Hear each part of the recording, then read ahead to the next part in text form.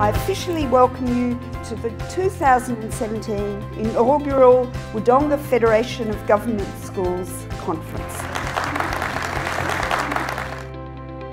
It's just fantastic that all eight schools from the Federation of Government Schools can come together to improving the educational outcomes of kids within the Wodonga area.